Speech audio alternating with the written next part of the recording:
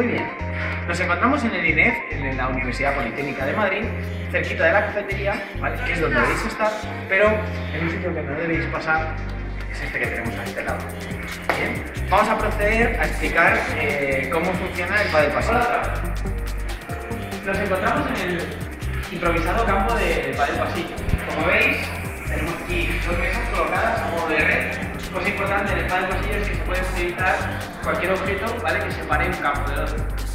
Como vemos el área ¿vale? en la que nos encontramos, ¿vale? vemos que es cuadrada. ¿vale? Es importante que sea un campo cuadrado porque el padel pasillo es individual, nunca va a ser en parejas. Mídelo, ¿eh? mídelo para demostrar que es cuadrado.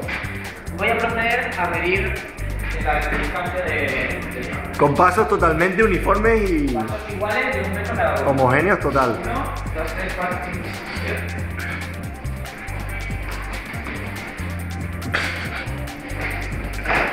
Sí.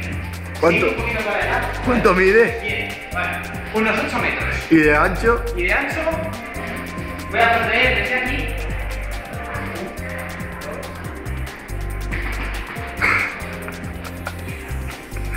Otro metro. Joder, también, tío. Perfecto. Hostia. ¿Vale? Una cosa muy importante en el padre pasillo, como hemos mencionado, es utilizar el mobiliario que tengamos a mano.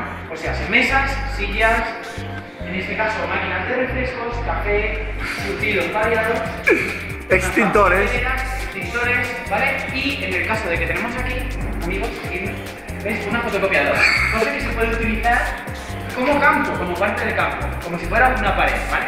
Como sabéis en el padre hay unas normas muy claras respecto a los botes con la pared. Vale, aquí vamos a mantenerlos. El bote siempre tiene que ser previo a la pared. ¿De acuerdo? No, no. ¿Vale? Tiene que botar primero en la pared y después en un objeto. El bote puede ser indistintamente, no separar al juego si el bote de repente cambia la trayectoria. Pero primero tiene que botar en el suelo. Primero botar en el suelo y después en Ah, pared. vale. ¿Vale? Continuamos, amigos. Con el uniforme, que mayoritariamente va a tener que ser esta El camiseta. ¿Eh? El uniforme. El uniforme va a ser, ¿vale? Posiblemente de, ¿vale? Tiene que haber dos colores distintos, pero tiene que ser con el logotipo de. O el mismo, tampoco. O el mismo color. A ser posible, tenemos que intentar que sean de distintos colores, ¿vale?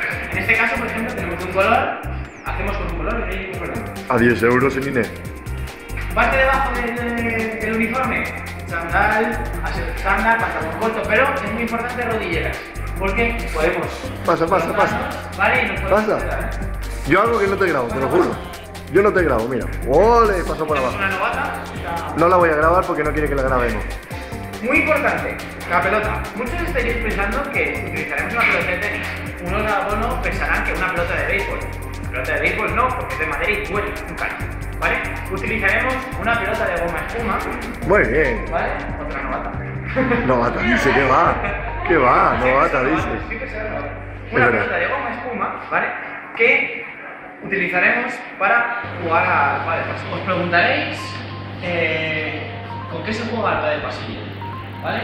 Muchos pensaréis que se juega con algún objeto, raqueta. No, estáis equivocados.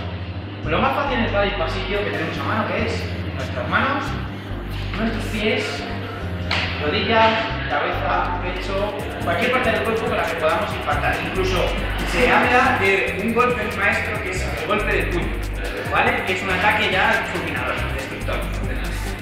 ¿Vale? Voy a proceder a... Muy bien, como mi cámara me indica, eh, existe un golpe también bastante mítico que es el golpe del codo infernal. Eh, vamos a proceder a explicar eh, cómo se efectúan saques, golpeos, ¿de acuerdo? Ya. Nos hemos situado, ¿vale? En uno de los extremos del cuadrado, que va a ser el campo de, para el pasillo. Y vamos a proceder a explicar el saque, ¿de acuerdo? Cojo la pelota, ¿vale? Y es muy similar al del tenis.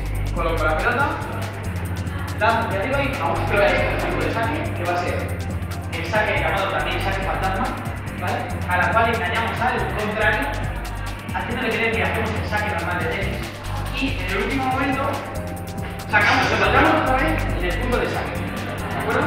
Vamos a explicar el tercer tipo de saque, que es, como dirían muchos, el saque como te salga de los cojones. ¿Vale? golpeo, ¿vale? Eh, hacemos el de arriba que vamos a hacer un saque de tenis normal, pero hacemos un saque como nos sale del mismo. Nos procedemos, colocamos, vamos a sacar y sacamos. Intentando con esto conseguir una cosa que es mm, provocar al rival el desconcierto y el perplejo simultáneo. Vamos a proceder a explicar el valor Vamos a explicar ahora cómo se procede a golpear un golpe listado. Os preguntaréis, golpe listado, todos sabemos cómo es listado, pero existen muchas superficies del cuerpo con las que se puede impactar en la pelota. ¿Vale? Podemos coger la pelota, ¿sí?